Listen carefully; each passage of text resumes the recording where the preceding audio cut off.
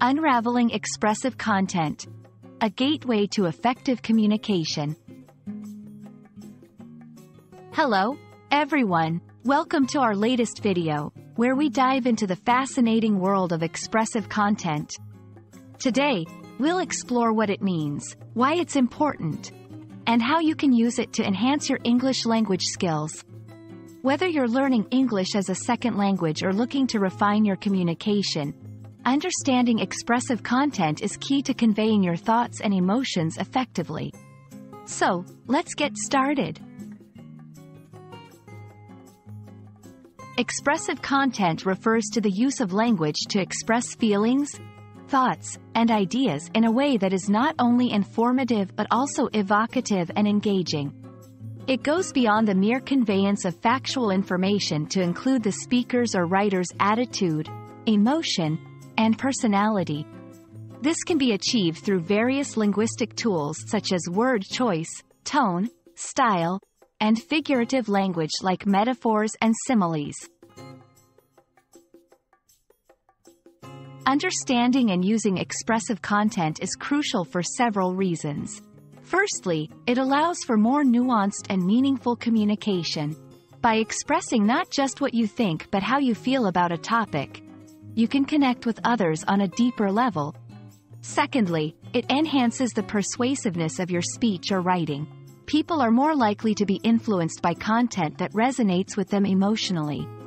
Lastly, mastering expressive content can greatly improve your language fluency and confidence, as it encourages creative and critical thinking.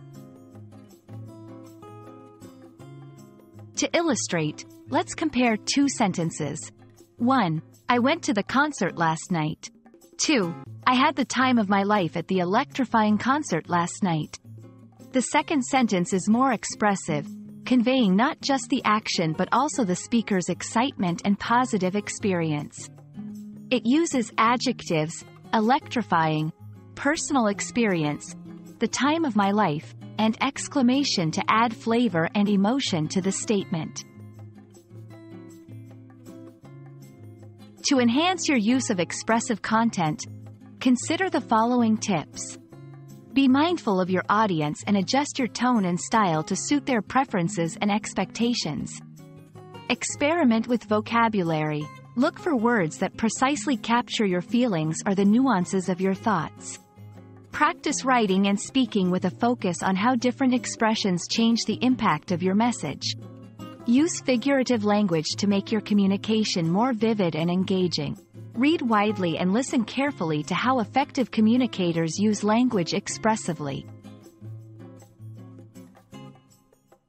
We hope this video has illuminated the concept of expressive content and inspired you to incorporate it into your English language learning journey. Remember, expressive content is not just about what you say, but how you say it. It's a powerful tool for making your communication more impactful, emotional, and ultimately, more human. Keep practicing, and you'll find your unique voice in no time. Thanks for watching, and see you in our next video.